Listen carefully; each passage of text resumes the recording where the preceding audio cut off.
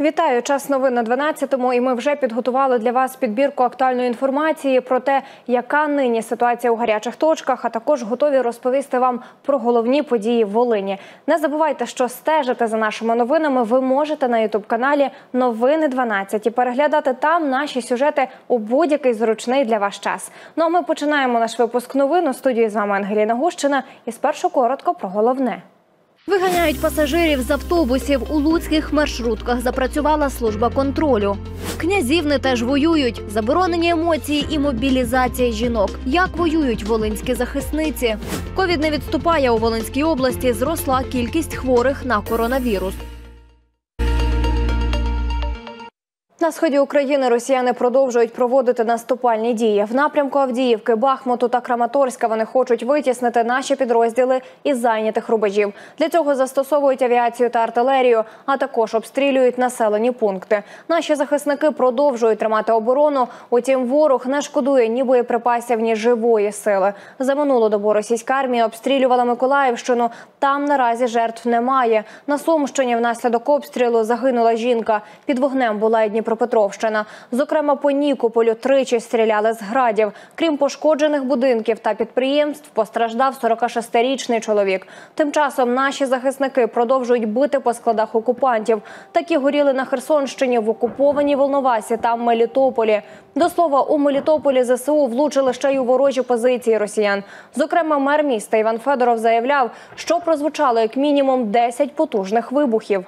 Бавовна сталася і у Криму. Жителі повідомляють про серію семи вибухів в районі військового аеродрому в селі Новофедорівка. До слова, він є одним з ключових для російської авіації. Саме там базувався 43-й винищувальний авіаційний полк.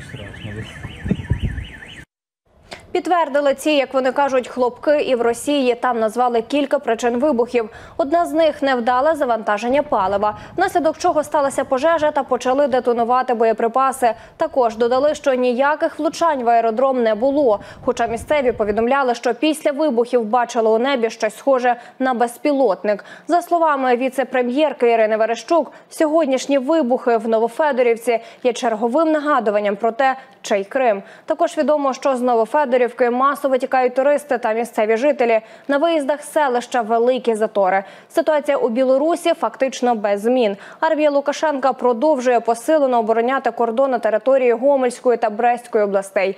До слова, на базі аеродрому Зябрівка досі є концентрація російських засобів ППО. На базі також фіксується станція зв'язку і велика кількість автомобільної техніки різного типу. В аеропорт Гомель регулярно транспортний літак Л-76, який доставляє в Білорусь ракети. Лише завчора доставили вісім ракет. Російські окупанти використовують захоплену Запорізьку АЕС біля Енергодара для ядерного шантажу. Раніше вони заявляли, що всі важливі об'єкти там заміновано, а станція буде російською або нічиєю.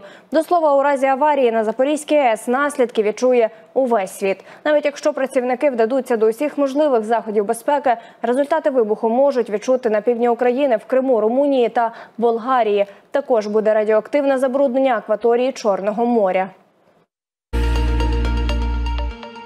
Маємо сумні звістки з фронту. На війні загинув юний герой з Лукачинської громади, житель старого Загурова Мар'ян Бабарика. Хлопець 1999 року народження віддав своє життя під час обстрілу у Донецькій області.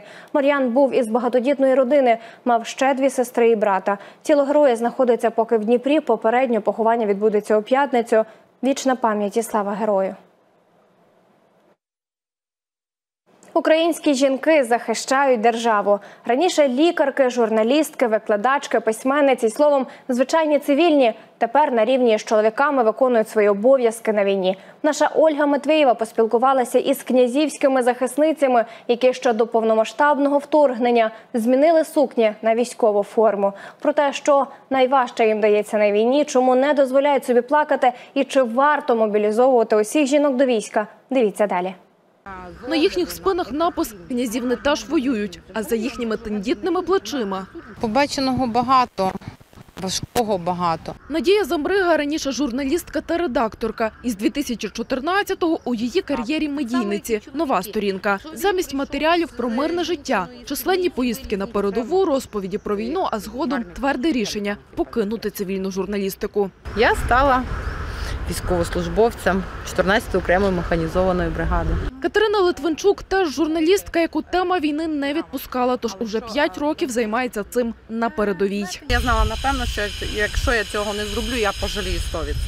Працюють безпосередньо на фронті, розповідають про успіхи військових та показують їхні будні. Це рішення було однозначним, попри усі ризики, небезпеку і стереотипи. Мовляв, війна не жіноча справа.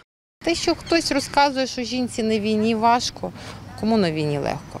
Жахи війни допомагають пережити позитивні емоції, які і захисники, і захисниці намагаються шукати щодня і у всьому. В першу чергу це спілкування з побратимами, навіть там, тому що вони джерело нашого натхнення. А ще гумор зізнається ще одна князівська захисниця Наталія Піддубна. це завжди ось асоціюється з певними людьми. Колись було, е, коли приїжджає вище начальство, було казало, де ти був, там, де ми там в першій лінії стояли. Да? Тепер де ти був, коли нас бомбили. Іншого просто не брати близько до серця. Якщо ми будемо це все брати через себе як губка, ну це значить з людини нічого не залишиться. Пригадують, їхали колись разом через Бахмут, аж раптом Починається обстріл. А в нас в машині м, всі наші речі. І там нещодавно перед тим ми купили е, е, котелок, кастрюльку таку.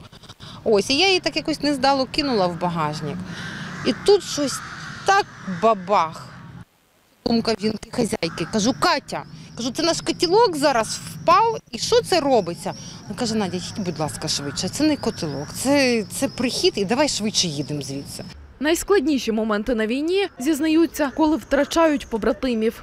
Коли ти архівуєш е, фото-відеоматеріали, а на фотографіях, на відео ті хлопці, яких ти буквально кілька днів тому фотографувала, готувала про них матеріал, приїжджали журналісти, в- е, воєнкори, які з ними говорили, а їх вже немає живих. Надія каже це із великим болем, але не плаче. Військовослужбовиці пояснюють. Ми на якомусь етапі, от спочатку повномасштабного вторгнення, ми заборонили собі плакати, тому що це. Ми розуміли, що якщо один раз ми це допустимо, коли, наприклад, втрачаєш когось свого, когось добре знайомого, е, того, ким ти дорожив, якщо це станеться один раз, все ну ти просто втратиш себе. Моменти, коли просто хотілося плакати, звісно, були, зізнається Катерина, але сліз, як і обіцяла собі, не було. Адже своєю силою жінки на війні насамперед мотивують побратимів. Чоловік це маленька дитина, тільки в великому образі.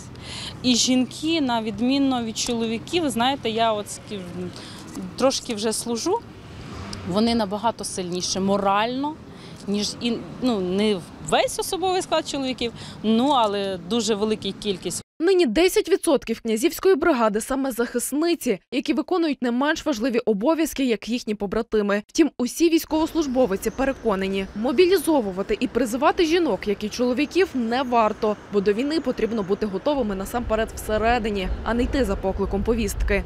Воно все рівно має бути по поклику серця. Тим жінкам, хто цей поклик всередині відчуває, радять. Кожна з них повинна добре подумати, куди вона йде, чітко розуміти, на яку посаду вона йде, і чітко розуміти, що вона буде робити, чи відповідає вона тим вимогам. Бо інакше, ну в протилежному випадку, який сенс? Ольга Матвєєва, Василь Мерещук, 12 канал.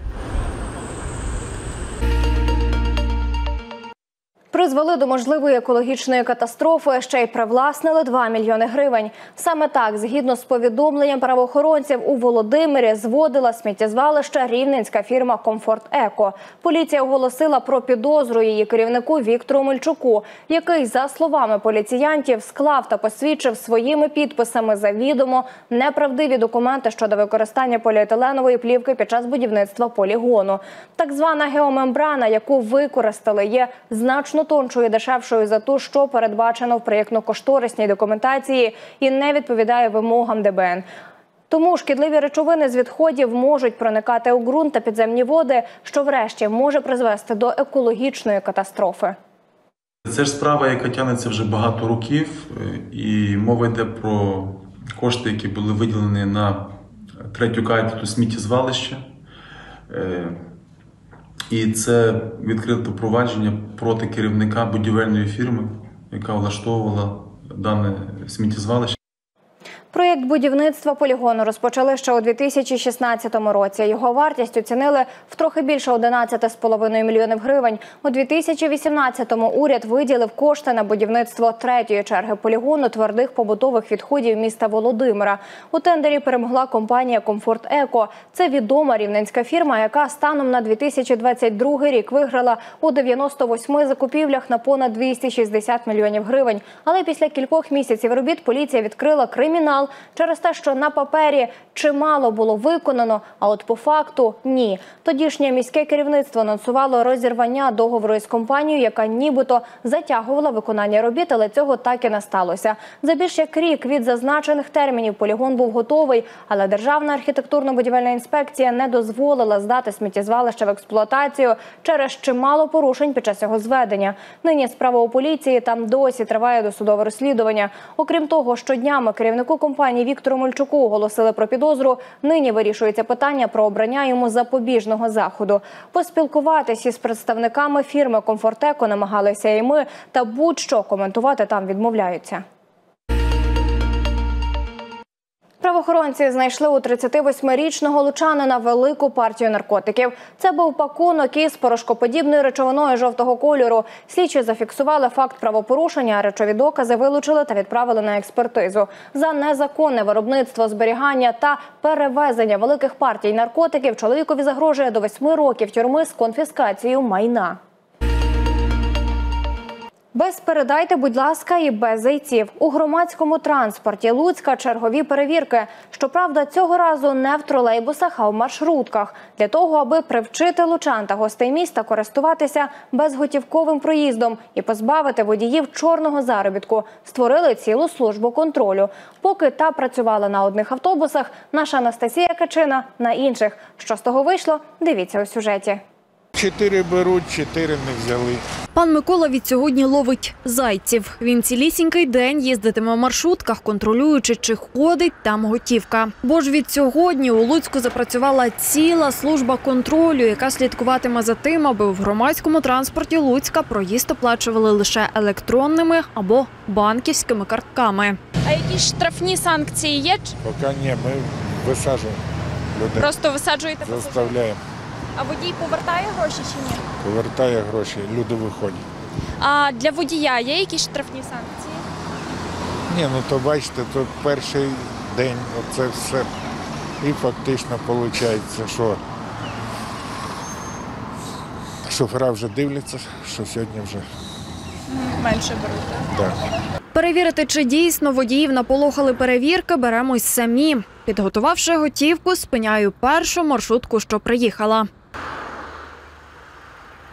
А далі, щоб не налякати водіїв та пасажирів, і для чесності експерименту вмикаю приховану камеру. А берете готівку? Щоправда, таких як я, готівкових пасажирів у цій маршрутці мало. За дві зупинки пересідаю в іншу маршрутку. Відразу кладу поруч водія 20 гривень і займаю місце в салоні. Кермувальник таки бере мою купюру і в ту ж хвилину віддає 6 гривень решти. Скажіть, то заборонили готівку в маршрутках чи ні? В розмову втручається одна з пасажирок. Великих щось я сьогодні їхала, я сказав. То цих синіх, так? Сині, так. Взагалі ноль, нічого нема. Сказав, що нас, нас будуть штрафувати, якщо ми беремо. За п'ять хвилин пересідаю в ту саму синю маршрутку, в якій нібито не беруть готівку. Добрий день. Берете готівку?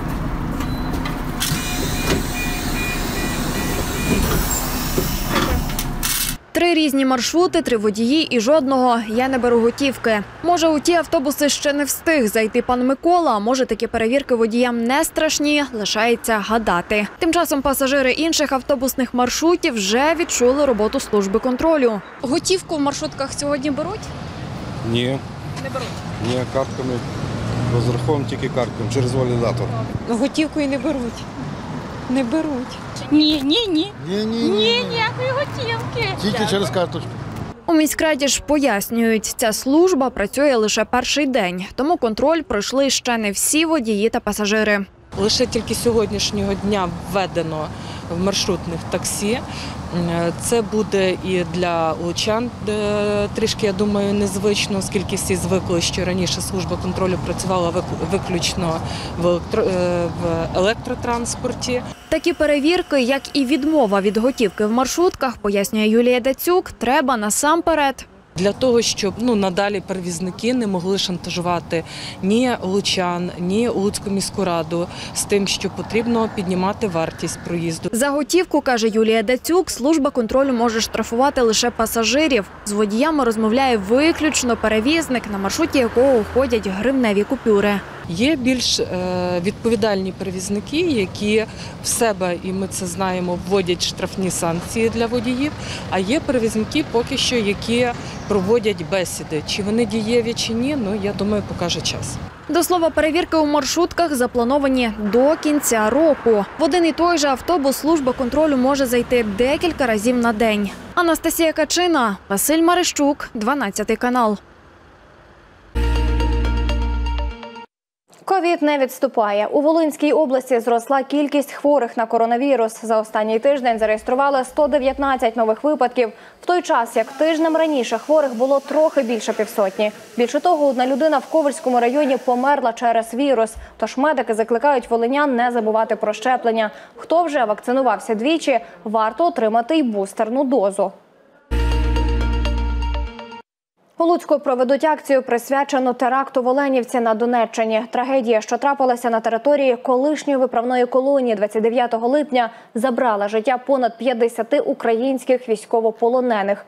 Їх вшанують у п'ятницю на театральному майдані, аби таким чином привернути увагу світової громадськості до цього теракту.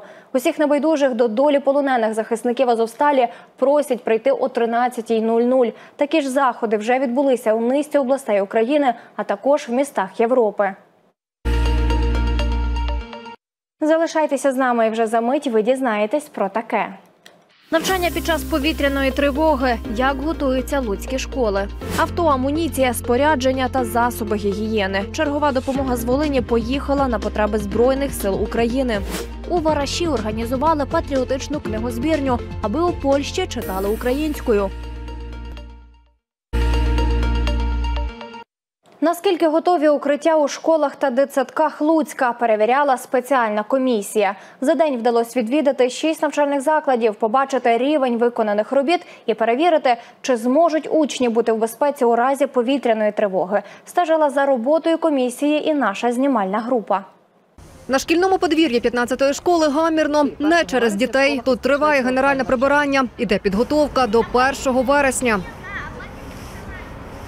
Учні шкіл Луцької громади готуються сісти за парти. Офлайн навчання з новими вимогами від міністерства передбачає обов'язкове укриття чи бомбосховище. Разом із директором 15-ї школи інспектуємо готовність колишнього шкільного тиру прийняти дітей у разі повітряної тривоги. Було замінено освітлення, було проведено розетки повністю, будуть замінені вікна. Ми зробили, потім ти покажу додатковий вихід. Тут вікно, вікно буде відкриватися, цей дашок відкидується, і це вихід аварійний в разі необхідності. Такої. Потрібно по протоколу. Так, звичайно, це вимоги МЧС. Тут буде два біотуалети: вода технічна і питна, ще дошка. І ці старі парти, які переробили під лавки. Загалом у школі навчається понад тисяча дітей. В школі нас діток багато. 1090, але це дві зміни, і тому вже розділяємо на дві зміни: перша зміна і друга зміна.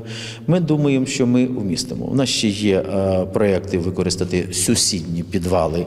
Школи, в яких тривають поточні ремонти з облаштування укриттів, приїхала перевірити спеціальна комісія. Ремонтні роботи фінансуються з міського бюджету. В цілому на облаштування укриттів в школах, в наших дошкільних навчальних закладах, в закладах естетичного виховання, це музичні школи, художні школи, виділено близько 2 мільйонів гривень. Ці кошти пішли на забезпечення вимог, які напрацювали експерти з Міністерства освіти та ДСНС. І їх чимало. Ключові критерії в першу чергу це є площа. Площа цього самого підвального приміщення, яка може е, відповідно укрити в повітряну тривогу власне ту, чи іншу кількість учасників освітнього процесу. Це є об'єм кубатура власне цього приміщення, це вентиляція, це обов'язково подвійний вихід. Е, Обов'язково має бути певна кількість і е, сидячих місць, е, лавок, е, водичка, питна, технічна каналізація, якщо нема, то хоча б урна для, для нечистот і так далі. Ну а це вже укриття 27-го ліцею. Його площа понад 3500 квадратних метрів. Кількість кімнат понад 10 зі стільцями та лавками. Однак учнів 1200, і вони навчатимуться у дві зміни. Ми тут вміщаємося повністю в одну зміну, хоча потужність закладу не є така, немає такої можливості, щоб в одну зміну можна було б посадити всю школу, тому що кількість кабінетів не, не вистачає. Тут понад 1200 е, учасників освітнього процесу здобувачів, саме учнів. Е, Ось підвальне приміщення укриття воно міститься, зрозуміло, але е, будемо розраховувати на зміни навчання, перша друга зміна. Двозмінне і змішане навчання це те, що чекає учнів у новому навчальному році. Все для того, аби максимально комфортно розмістити половину школярів в укритті і забезпечити усім санітарні умови. 26-та школа Луцької громади найбільша. Тут понад дві тисячі дітей. Тож укриття готують відповідно. Рукомийники, індивідуальні санвузли для хлопців і для дівчат, опалення і два виходи. Ось так підготувалися до укриття у 26-й школі. Про повітряну тривогу тут повідомлятимуть шкільними дзвінками із певною тривалістю. Діти у перші дні навчання мають засвоїти правила евакуації і поведінки в укритті, адже учнів чимало. Плануємо тисячу. Зараз, е, поки ще не маємо стільки стільців, бачили, виготовляємо лавки, розставимо лавки, порахуємо і тоді будемо знати точно. За словами директора школи Івана Леоша, вчителі готуються, як правильно сформувати навчальний процес під час тривог, адже це не менш важливо. Це стосується і дошкільнят. Вони вже третій місяць випробовують на собі укриття, яке облаштували в чергових дитсадках, як це в 19-му дошкільному закладі. Діти не бояться, це саме основне. Немає паніки. Немає паніки у дітей, тому що немає паніки у дорослих. Коли ми проводили наради, і неодноразово я наголошувала на тому, що це має бути швидко, організовано, зосереджено, тому що дитина дивиться на дорослого і наслідує поведінку. Якщо чітко все ми нарахували, був період один 175 дітей. Ці діти тут граються, дивляться мультики, відпочивають і чекають відбою тривоги. Мають кризові рюкзаки із печивом та водою. Така ж порада буде актуальною і для школярів. Але перш ніж відправити дитину на офлайн навчання, рішення мають прийняти батьки. Звичайно, е, вирішувати батькам особисто відпускати дітей в школу в таких умовах складних, в яких ми живемо, чи не відпускати. Але хочу запевнити, що ми, як міська влада, робимо максимум для того, щоб ці укриття, які є в наших навчальних закладах, щоб вони були готові для того, щоб прийняти дітей. Готується до навчання у школі і пані Інна з сином, адже незважаючи на війну, жінку чекає робота. з четвертого класу дистанційно, дистанційно. Війна може взагалі затягнутися на роки вісім. Ну то то що, не ходити до школи вісім років чи як? Та треба, щоб діти виживати вміли, виживати. А що, що їх вдома навчить? Хто його знає, куди та бомба прилетить? Сюди чи прилетить до мене додому?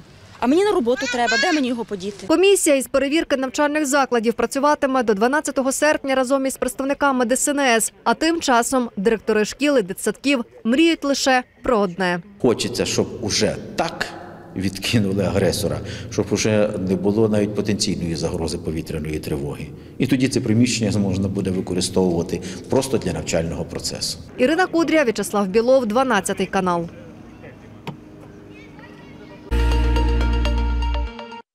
Авто, амуніція, спорядження та засоби гігієни. Таку допомогу Волинь передала на потреби збройних сил України. Мінівен марки Кія попрямує на Херсонщину для забезпечення ефективного виконання поставлених завдань однією зі снайперських груп. Цей автомобіль придбали завдяки благодійникам та у співпраці з Волиньрадою. Крім того, машину завантажили військовою амуніцією та іншим необхідним спорядженням, генераторами, бензопилами, тактичними рюкзаками, лопатами, сокирами, а також білизною і засобами гігієни. Голова обласної ради Григорій Недопад зауважив, що питання забезпечення військових формувань транспортними засобами було і залишається одним з пріоритетних.